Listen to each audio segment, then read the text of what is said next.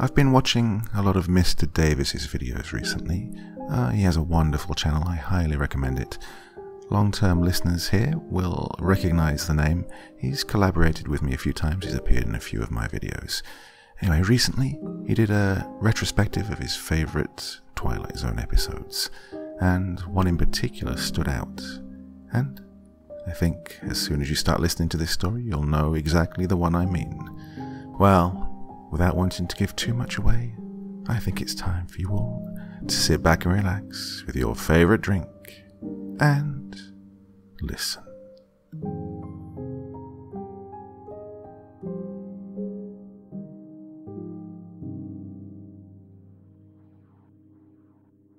Oh, the events that have transpired over the past four weeks have just been horrifying. I'd be lying if I said I wasn't to blame. I just need to say I'm so, so sorry. I'm writing this down now, not to try and make sense of it all, but as a way to explain what happened to her. One last sorry to encapsulate her joy and positivity before the media slices her to ribbons and everyone forgets who she was. Well, I should start from the beginning. My name is Elizabeth, and I work at a gas station slash deli slash convenience store. For those of you local to New Jersey or New York, you know it as QuickChek. I've been working here for two years now, and I've become quite the expert in disappearing before any major rush in the kitchen. Hell, I'm even a manager. So I eyed a group of teenagers walking in the front doors, eyes dead set on the deli. Time to act quickly, I thought. Hey, Jesse, I'm gonna go hit the outside garbage. Cover the board, will you? Okay, she chirped, shooting me her usual toothy grin. God, that poor girl had zero idea she was about to get slammed with at least seven sandwiches. I headed outside, quickly pushed down the garbage so they all looked to be less than half full, then proceeded to walk around the side of the building to smoke a cigarette.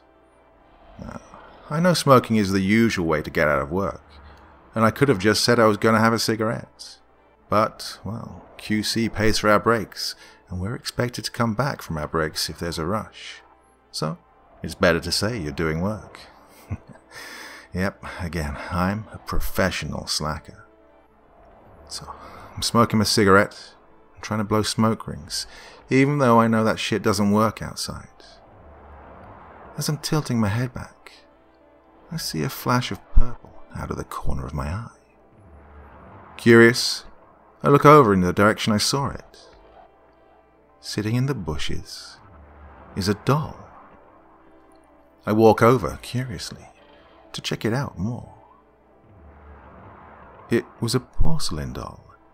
It had curly black hair, two blue eyes, and a purple dress. It was in near perfect condition, except for one thing. Where one of its legs should have been was just an empty hole and a wire. Oh, it genuinely looked creepy. I loved it. I love creepy shit. And finding a broken doll hiding in the bushes with no one else around? What's creepier than that? I had to show Jessie. I go inside, actually help her with the board to free her up. Nine sandwiches and three snacks. Yippee. And then I dragged her ass outside. Look at that thing. Jessie grimaced. Ugh, that thing's ghastly. What's it doing there in the bushes? like hell if I know. I started laughing. Hey, we should name it. She rolled her eyes. No, we should leave it alone. I've seen Annabelle.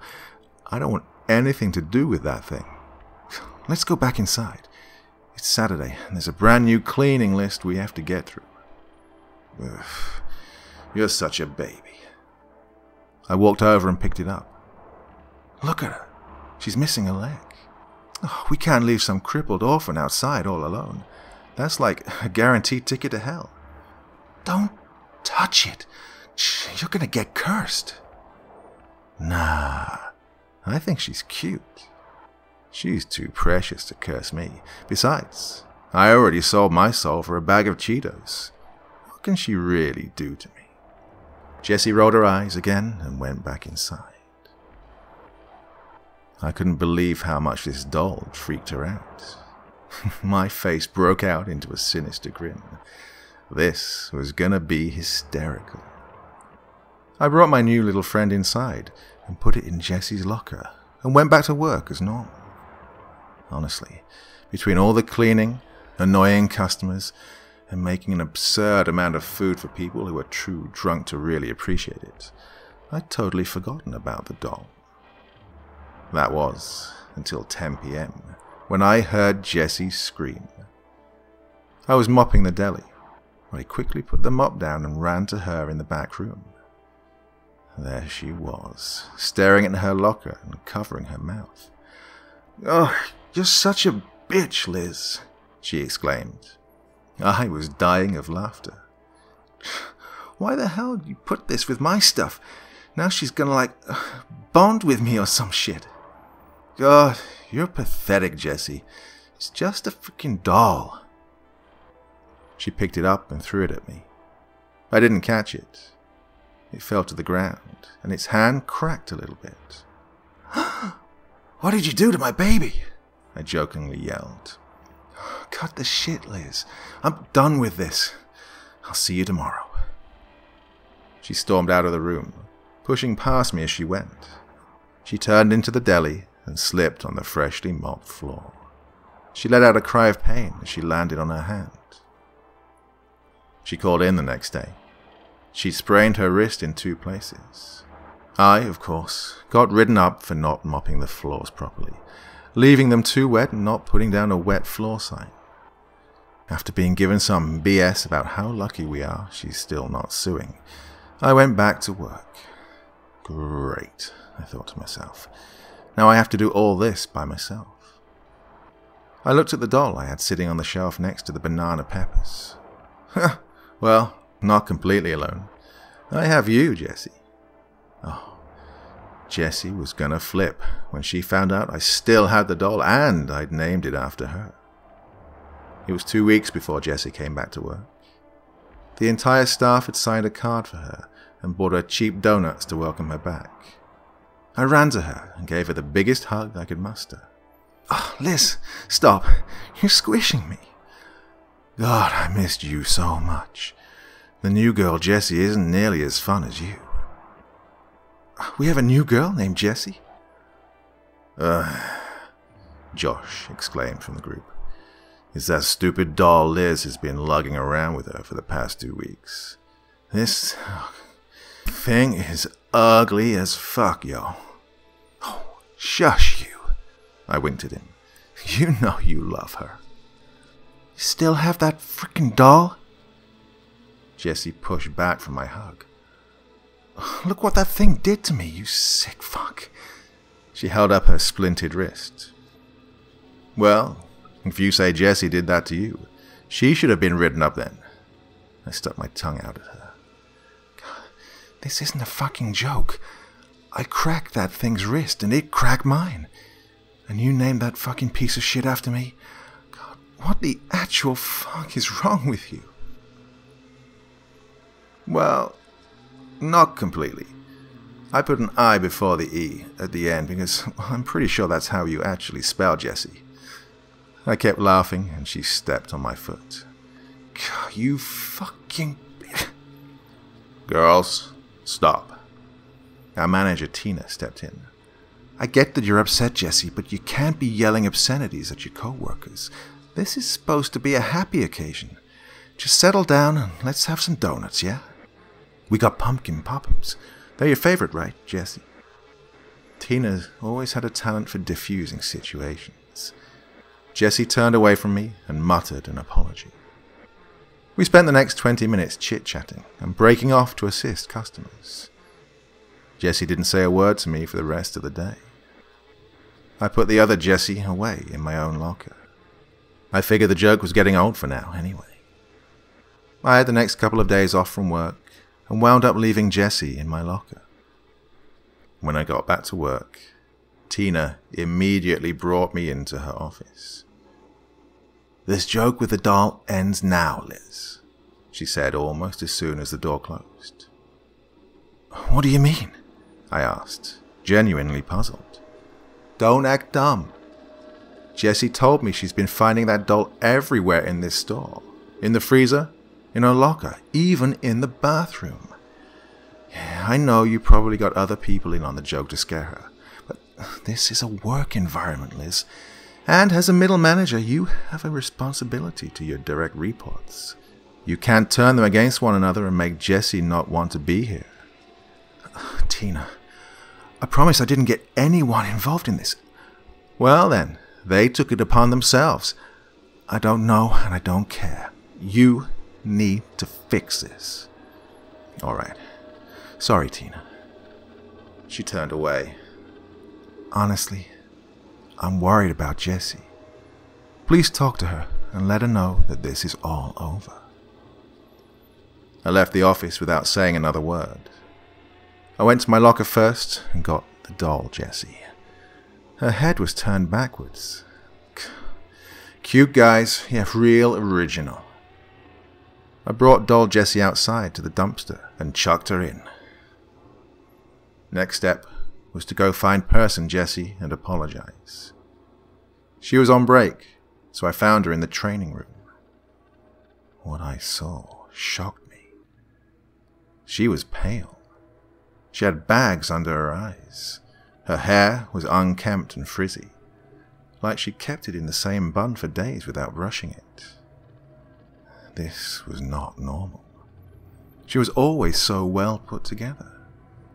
Normally, she somehow made a grey t shirt and green apron look nice. Well, if not attractive. She wasn't even smiling, though, as she mindlessly scrolled down her Facebook feed on her phone.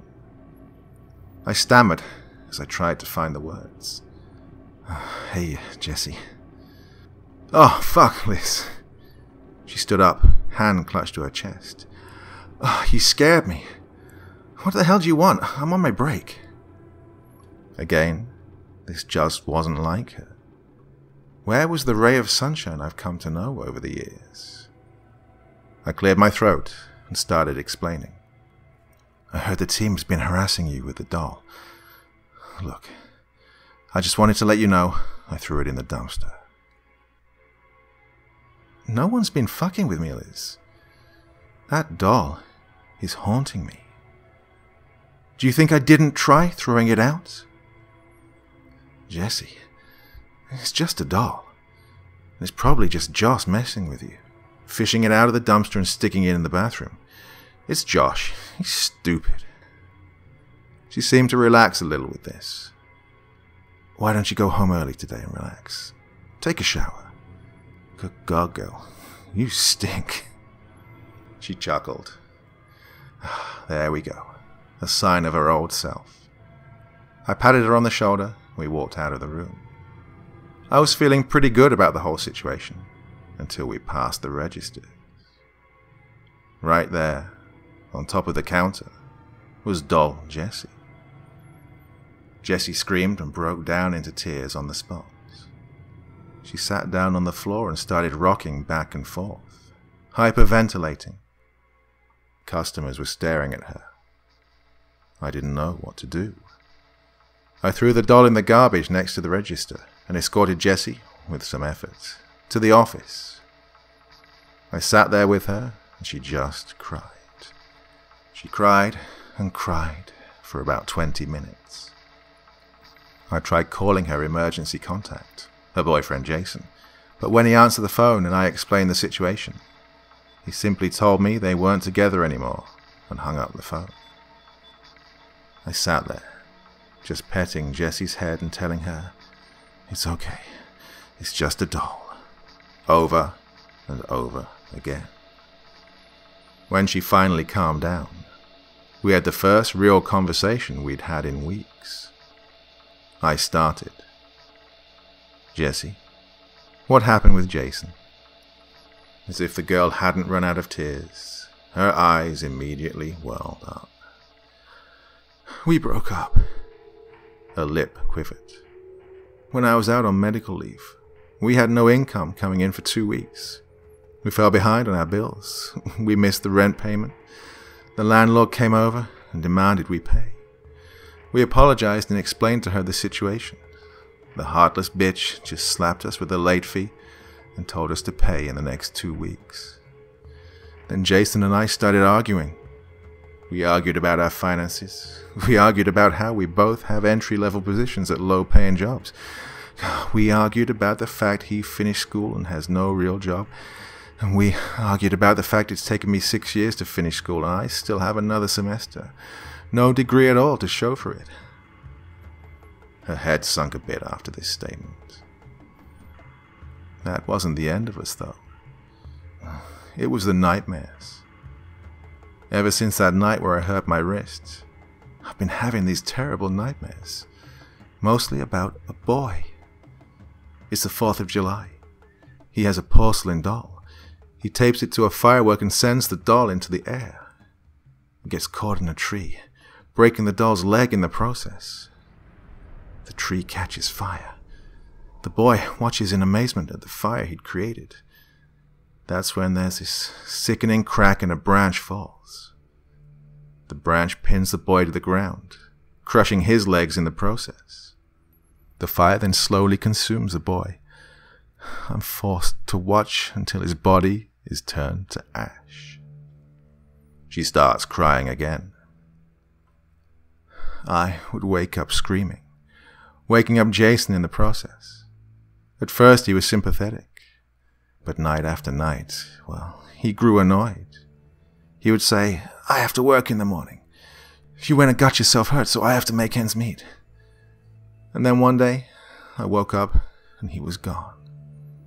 I tried calling him, but my number was blocked. I guess, well, I guess he just had enough. I was speechless. I just sat there with my mouth agape. How could he do that to her? So now I don't have enough to pay rent, I don't have anywhere to live, and I can't stay on campus. Housing has a massive waiting list. I'm gonna have to drop out of school. I hugged her. No, you're not. You're gonna come stay with me. I called another manager to come cover my shift. Then I drove her to her place to grab her things. We went to my place, some shitty studio in the middle of the projects, but well, it would do. I let my husband know what was going on, and he unrolled our futon for her. I knew it was going to be awkward, three adults sleeping in one tiny bedroom, but I had no idea what would happen that night. I woke up around 3 a.m. to muffled cries. I looked over to my dog's bed, thinking she was barking in her sleep, but she wasn't asleep. She was wide awake and staring at the entrance to the kitchen. Half asleep, I rolled out of bed and went to see what was happening. I instantly woke up and was fully alert when I saw Jessie. She had a hammer and was breaking her own fingers. I screamed, What the fuck are you doing? Her head shot up and she dropped the hammer. Jessie, is broken. That's all she said before she collapsed. I called 911 and they brought her to the ER. From the ER, they brought her to the adult psychiatric facility for a 72 hour hold. Apparently, this is standard in cases of self harm. I visited her twice a day, every day. She just kept muttering, Jessie is broken. Jessie is broken. Jessie is broken. Over and over. She was completely catatonic. Now, you would think someone in her condition, with nowhere to go, would be welcome with open arms in the hospital until she's better, right? Well, the answer to that is no. I got the call from work that her insurance wouldn't pay for her to be there, and she was being released. Both me and my husband were at work, so no one could go pick her up. I asked them to let her stay there until I could pick her up at 11 p.m. But apparently, even this was too much, because she was released. She got on a bus. She came to our job. The next part is hard for me to talk about. Jesse, I'm just so sorry. She came through the door. She was wearing the pajamas she'd been wearing when she was admitted. Her hair was a tangled mess. Her eyes darted around, frantically looking everywhere and nowhere. She continued to mutter, Jesse is broken. Jesse is broken. Jesse is broken. She walked to the back, despite odd looks from the customers, and grabbed a knife. People started screaming. I ran to her. Jessie, what are you doing here? What are you doing with that knife? She didn't acknowledge me. I tried to grab it from her, but she swung it at me, cutting my arm. Other people were now trying to restrain her, but she managed to back herself into the back corner, screaming, Jessie is broken! Jessie is broken! Jessie is broken! In the corner of that room is a bread slicer. She turned it on, and the blade whirred to life. I screamed, Jessie, don't! She put her arm into the machine. Blood splattered everywhere, and she died in seconds. Her funeral was today. Nobody really attended. This girl really had no one. And the people who did care were so utterly disturbed that they wanted to distance themselves as far away from everything that had happened as possible. I don't blame them. The whispers at work were too much to bear. I quit my job. I don't think I want to work with people anymore. Maybe I'm just depressed. I don't know. But I think I'm going to just try to work from home. I can't bear to see another person so full of happiness and life just unravel like that. I'll never truly know what happened to my friend, but I don't think I want to know whether or not that doll had any supernatural powers, or whether life had just truly destroyed a person so beautiful. Well, it was my fault. I don't know if this is significant or not, but as I was leaving QC for the last time, I couldn't help but notice a shard of porcelain glass by the dumpster.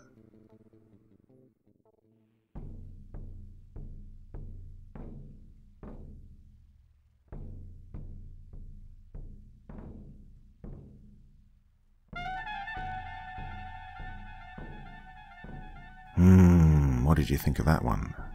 Oh, that was really interesting. Was it entirely in her imagination? Was someone fooling around with a doll and taking it out of the garbage and leaving it places? It really could have gone either way. It could have been supernatural or just people messing around. Anyway, a very sad ending to that story. Let me know what you think in the comment section below, and as always, I will try, try, try to reply to as many as I can. Well, Hope that was a bit easier than uh, Monday's marathon four hour video. And of course, I'll be back again on Friday. And I know you'll join me, won't you? Of course you will. Until then, sweet dreams and bye bye.